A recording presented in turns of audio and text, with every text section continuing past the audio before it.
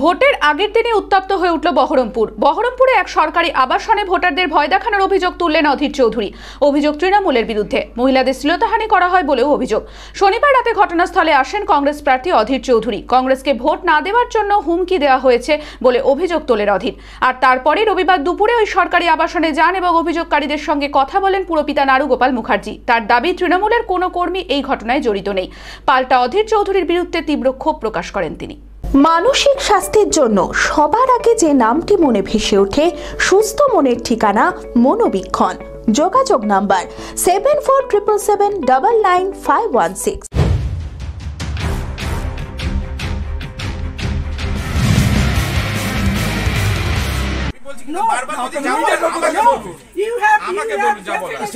সেটা কথা বললেন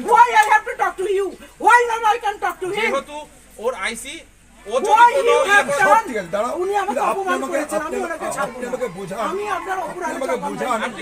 ইয়ে। সোমবার লোকসভা ভোট বহরমপুর কেন্দ্রে আর ঠিক তার আগের দিনে উত্তপ্ত হয়ে উঠল বহরমপুর। বহরমপুরের এক সরকারি আবাসনে ভোটারদের ভয় দেখানোর অভিযোগ তুললেন অধীর চৌধুরী। অভিযোগ তৃণমূলের বিরুদ্ধে। মহিলাদের শ্লীলতাহানি করা হয় বলেও অভিযোগ। শনিবার রাতেই ঘটনাস্থলে আসেন কংগ্রেস প্রার্থী অধীর চৌধুরী। কংগ্রেসকে ভোট না দেওয়ার জন্য হুমকি দেওয়া হয়েছে এবং মহিলাদের শ্লীলতাহানি করা হয়েছে বলেও অভিযোগ তোলেন অধীর। ঘটনাস্থলে বহরমপুর থানার পুলিশ আসলে পুলিশের সঙ্গে অধীর চৌধুরীর কথা কাটাকাটি হয়। বহরমপুর থানায় অভিযোগ জানানো হয়েছে। অবিলম্বে অভিযুক্ত তৃণমূলের দুষ্কৃতীদের গ্রেপ্তারের দাবি জানিয়েছেন অধীর।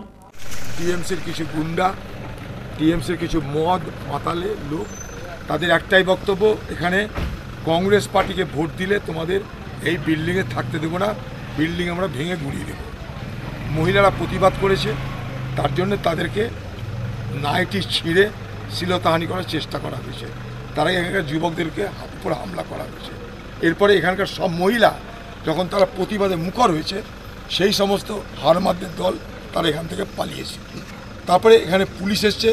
পুলিশ এসে যে মহিলার উপরে অত্যাচার শ্লীলতারি হয়েছে, তাকে ঘরের মধ্যে ঢুকে তার কাছে জানতে চাইছে। কোনো রেকর্ড বয়ান করেনি জেনে সে চলে গেছে। সে কথাবার্তা শেষ করার আগে বলছে মিডিয়া ট্রায়াল করলে তো কিছু করার নাই। আমার আমি বললাম, আমি কি মিডিয়া পিপল এসছি? আমি কি মিডিয়া পার্সন তাকে যখন আমি বল চেস করতে আরম্ভ করলাম, সে তখন কোথায় হাওয়া হয়ে গেল। ডিএসপি সাহেব এলো। ডিএসপি সাহেব ভদ্র ব্যবহার করেছে। তার সঙ্গে আমরা আলোচনা করেছি, এখানকার মহিলারা কথা বলেছে লেডি অফিসার এসেছে, মহিলারা সেখানে তাদের বয়ান দিয়েছে। এই এলাকার যারা প্রতিবাদ করেছে, তাদেরকে নানাভাবে আজকে শুরু হয়ে গেছে, তাদেরকে আবার দুর্বল করার মানসিকভাবে। আর তারপরে রবিবার দুপুরে ওই সরকারি আবাসনে যান এবং অভিযোগকারীদের সঙ্গে কথা বলেন পুরপিতা নারুগোপাল মুখার্জি এবং তাদের পাশে থাকার আশ্বাস দেন। যদিও অভিযোগকারীদের দাবি, কোনো রাজনৈতিক দল এই ঘটনায় জড়িত রয়েছে কিনা তাদের জানা নেই। তবে যে বা যারা জড়িত রয়েছে তাদের বিরুদ্ধে উপযুক্ত ব্যবস্থা গ্রহণ করা হোক। না, আমরা সেরকম কোনো অভিযোগ করিনি। কোনো পার্টির ভিতরে বিরুদ্ধে আমরা কোনো অভিযোগ করিনি। আমাদের পাড়ায় বাইরে একটা অশান্তি চলছিল। সেই অশান্তির কারণে আমরা বাড়ির যত বাড়ি ফ্যামিলি আমরা সবাই নিচে নামি। নিচে নেমে তখন আমরা এরকম ঝামেলা অশান্তিতে ই করি তো আমার ওয়াইফ উপরে ছিল। হঠাৎ করে তো এক- একজন এসে তো এরকম বিষয় দরজা মজা ঠকঠক করেছে করেছে। দিয়ে একটু ধাক্কা মাক্কা মেরেছে। দিয়ে ধাক্কা মাক্কা মেরে তারপরে পালিয়ে যায়। চিৎকারও আওয়াজ শুনে। ধরেছে। হ্যাঁ ওইটা দিয়ে পালিয়ে যায়। দিয়ে তারপরে। হ্যাঁ এটা ধর।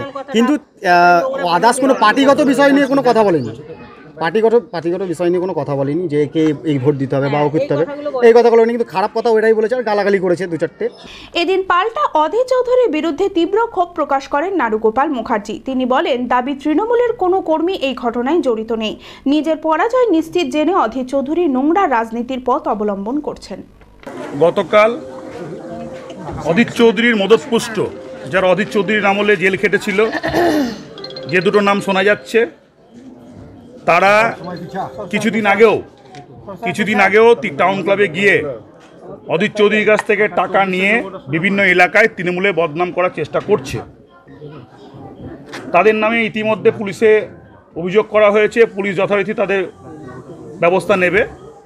এখানে ঝামেলা করার পরিবর্তে কিন্তু এই ঘটনার সঙ্গে যারা লোকাল তৃণমূল অব্রদীপ মজুমদার এসব আমাদের মহিলা তৃণমূল যারা আছে কোনোভাবে যুক্ত নয়।